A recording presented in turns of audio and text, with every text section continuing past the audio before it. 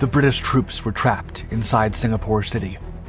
The Japanese had left them without water or supplies, and after 70 days of intense persecution across the Malayan Peninsula, the defenders were exhausted. Lieutenant General Arthur Percival was at a crossroads. Although Prime Minister Winston Churchill had mandated that the colony be defended to the last man, Percival's forces were overwhelmed, and the commander had to avoid further losses. Forced to capitulate, Percival met with Japanese leader Lieutenant General Tomoyuki Yamashita. The invaders asked for unconditional surrender, but Percival demanded better conditions for his soldiers. Yamashita was furious and smashed his fist on the table. His conditions were non negotiable, as he couldn't risk letting the British know about a secret that could turn the odds in their favor.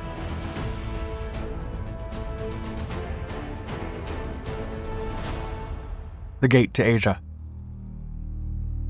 Singapore was considered Britain's Gibraltar in the Far East and was regarded as valuable as that location in Europe.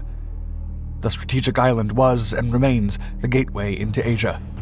Control of Singapore meant control of a vast proportion of the Far East. Throughout the 1930s and early 1940s, the British in the region maintained an atmosphere of colonial sociability, while the military forces stationed on the island epitomized the British ideal of gentlemanship through their distinguished officers. Still, in the hot jungles of the Southeast Asian colony, the threat of a Japanese invasion was ever present. However, fear was mitigated by the notion that Singapore was a formidable and impregnable fortress. Moreover, the blind faith of the British in their own military strength caused an air of what could be described as lethargy among the troops and officers. The British did expect an attack, but they considered victory an undoubted conclusion. Despite the generalized arrogance from the British politicians in 1936, then General Officer Commanding Malaya, Major General William Dobbie, inquired whether a bulkier garrison was needed on the mainland to prevent the Japanese from attacking Singapore from land. His chief staff officer, Arthur Ernest Percival, drew up a tactical assessment of the most likely invasion strategy. Percival's written appreciation identified the beaches on which the Japanese would probably land, as well as the axes through which they would advance in the Malayan Peninsula. His analysis also confirmed the grim suspicions that North Malaya would likely become the critical battleground. A sentry box. In the spring of 1941, Lieutenant General Arthur Ernest Percival was appointed General Officer commanding Malaya. Now, his earlier predictions were the basis for a defensive plan. But much to his concern, he found that both the country and the military were in a state of alarming unpreparedness.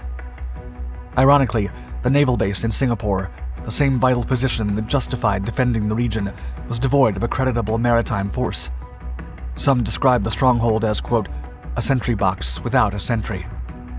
Likewise, the Royal Air Force had appealed for a considerable increase in frontline aircraft.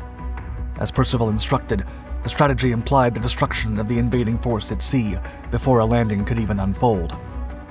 Even so, London merely committed 336 aircraft instead of the requested 566, and not all of them showed up, leaving an obsolete fleet of 158 aircraft on station by December of 1941.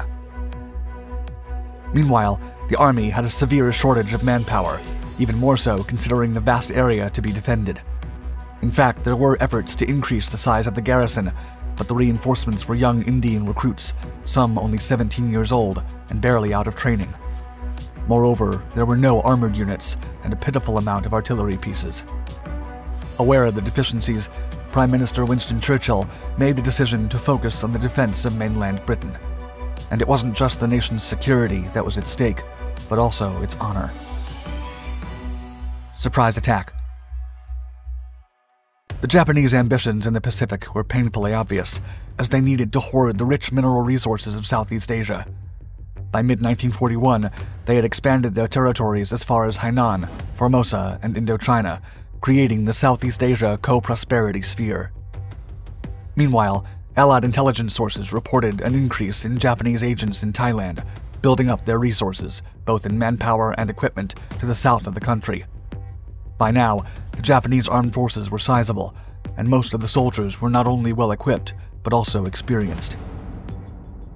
Having secured bases in China and Southeast Asia, the island stood out as a crucial objective for the Nippon Empire's expansionist endeavor.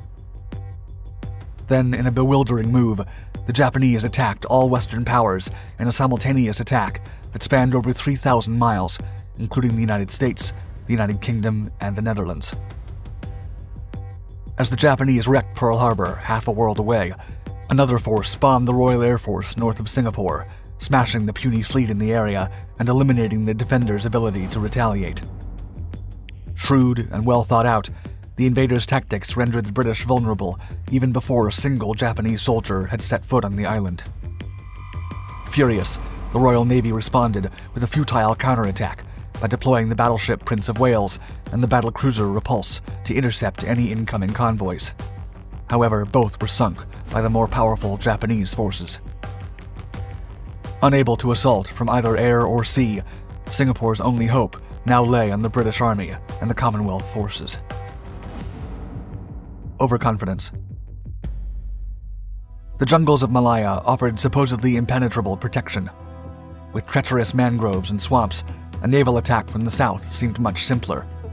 Even so, Lieutenant General Tomoyuki Yamashita would lead their men the hard way. The Japanese launched a formidable offensive. Ruthless and fearless, the invaders took the inexperienced British forces completely by surprise and swept through the mainland virtually unopposed. As early as December 11th and 12th, the defending forces were humiliated at the Battle of Jitra, and the British finally understood that having overestimated the defensive nature of the tropical jungle was a grave mistake.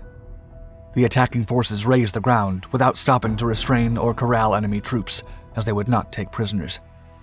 The 90,000 strong defense was utterly undermined, as the relentless ground troops were supported by no less than 600 state of the art fighters and bombers. Unlike the feeble defense, the Japanese had light tanks and bicycle units that outmaneuvered the British in the jungle and forced their retreat down the peninsula.